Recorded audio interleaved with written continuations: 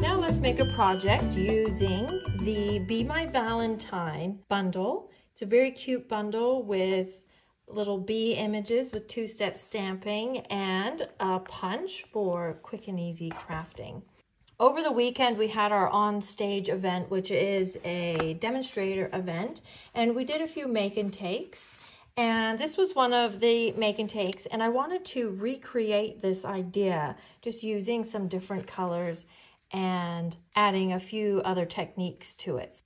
So let's get started. I'm going to start with just a basic white card base, and I'm using the thick basic white cardstock for stability on my card base. And I'm just going to set that aside.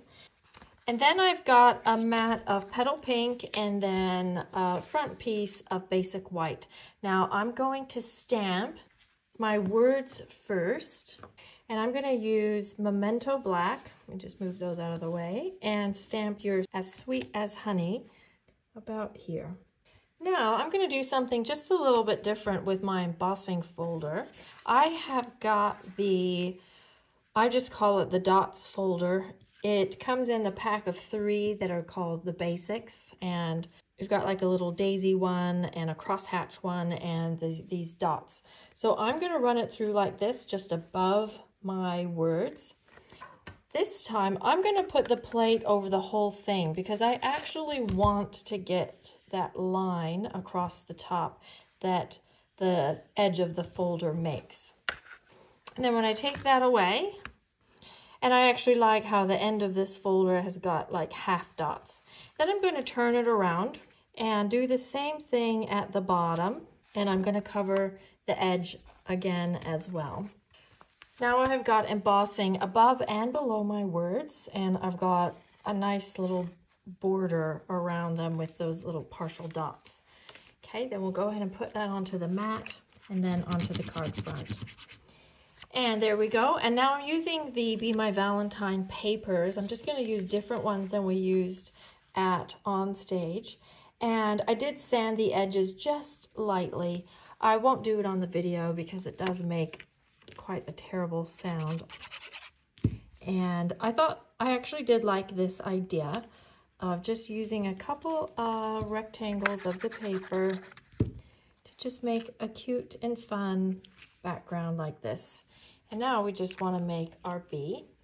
I'm going to grab my mat because you always want to have a mat under you when you stamp with photopolymer, particularly if you're using more solid images like these the bee here. I'm going to stamp the bee stripes first, and then I'll use Daffodil Delight, and I'm going to stamp the body. But a little tip for you is to designate a bone folder. You can see mine's quite um, marked up, just to kind of move that ink around a little bit. I think you'll find that particularly with solid photopolymer images, having a little spot on your ink pad that isn't overly saturated with ink is quite nice. Then you can ink your stamp on the side where I've moved some of the ink out of the way and you can even put part of the stamp into the side that's got a little more ink on it to give your image just a little bit of shading. So I'm going to put that at the back, a little bit darker. There we go. Hopefully you can see that how you've got dark and then light where I'm going to stamp his little face. Okay, now this stamp set's very cute. It's got several different faces, actually four. So I want my bee to ultimately be going about that way. And then I'll just take the punch and punch him out really nice and quick. And you almost always get a heart when you punch out the bee, so I figure it might as well maybe put that on the envelope or something. Now for the antenna, I just stamp the antenna on vellum and for stamping on vellum you need to use the StazOn ink or the permanent ink and I'm going to use this little heart to punch out the antenna and then while I've got that vellum I'm going to use my StazOn and I'm going to stamp the wings. I'm just going to give that a moment to dry because vellum has got a waxy coating on it and so inks even StazOn might just take a moment to fully evaporate and dry. And I'm going to clean that off. And on this white, I'm going to stamp the wings again in Pool Party. And then there's a solid heart in the set. So I'm going to stamp that. I'm going to stamp it off and then stamp it over top to give it some color. And it actually matches just perfectly. So that's one of the great things about photopolymer stamps is because you can see right through them, it's really relatively easy to line up two-step stamping like this.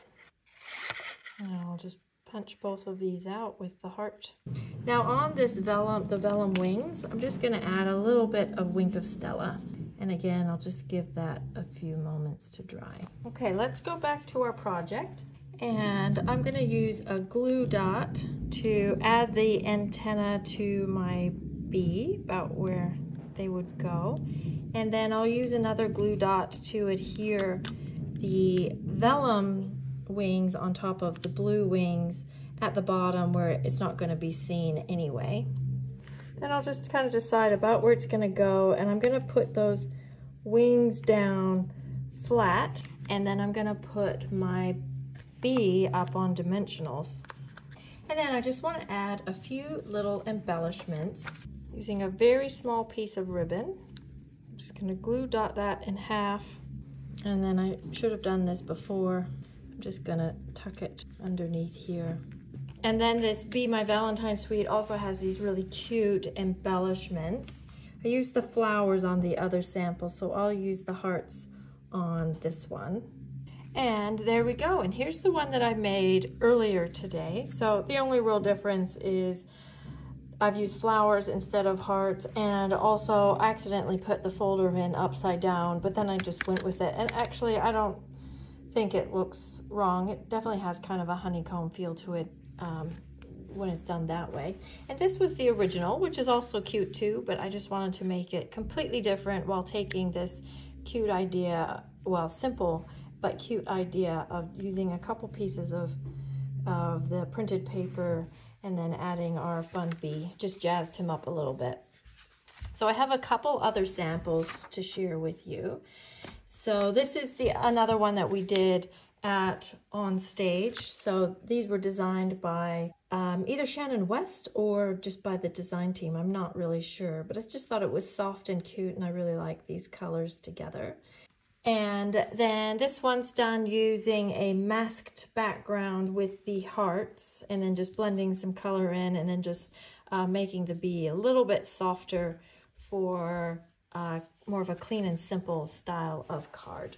So there are my samples with the Be My Valentine Suite. I hope you enjoyed that please leave me a comment. I always love to hear from you. And if you have a friend who's thinking about this suite or has this suite, please share this video with them too. And of course, subscribe and I'll see you next video. This is Jacque Williams. Bye-bye.